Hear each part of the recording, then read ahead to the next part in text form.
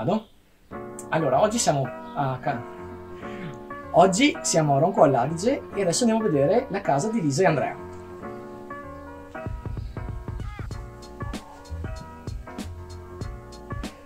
Ci troviamo nella zona giorno. Con i ragazzi abbiamo scelto un grande formato, quindi un formato 90x90 effetto cemento sui toni del grigio. Il materiale è stato scelto per abbinarsi bene ai colori che avevano in mente nella loro casa, quindi una cucina molto chiara, un divano sui toni freddi e un elemento molto particolare. Adesso entriamo nel bagno zona giorno. Continuiamo con lo stesso pavimento della zona giorno. Per scaldare l'ambiente abbiamo scelto di utilizzare un effetto legno a spina, in questo caso con un tono caldo, ma il punto forte del bagno è l'arredamento studiato con Greta. Quindi uno specchio molto particolare tondo di grandi dimensioni, ceramica opaca e rubinetteria in acciaio.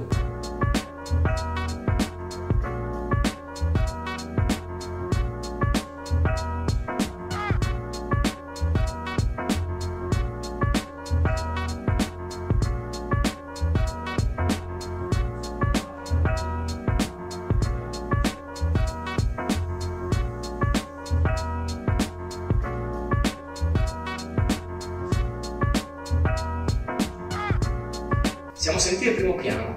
Abbiamo scelto per scaldare l'ambiente di usare un effetto legno, un formato 20-120 ed è lo stesso colore che abbiamo usato nel rivestimento del bagno zona giorno.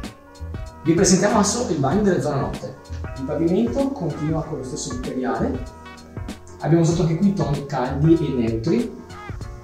Il particolare più interessante è la mensola ingress, in cui abbiamo realizzato il piano con lo scarico nascosto. Quindi l'acqua va a infilarsi nella fessura ma non vede lo scarico vero e proprio. Rivestimento minimo con una zetina in tinta, stesso materiale. Ci troviamo poi a vedere anche la doccia, una doccia molto grande, molto accogliente. Abbiamo scelto di farla molto scura in questo caso per fare una doccia un po' romantica. E la rubinetteria, i ventilatori, il soffino 3 mm, tutto acciaio. Abbiamo pensato anche una nicchia per avere la possibilità di mettere gli oggetti senza dover trovare tutto quanto bisogno e per rendere ancora più romantica un LED all'interno.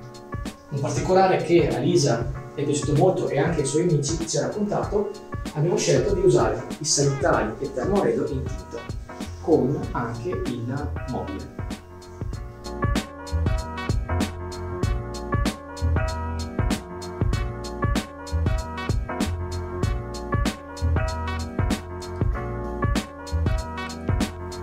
Altrimenti mi vedrei il faccione di Roberto tipo gigantesco. No,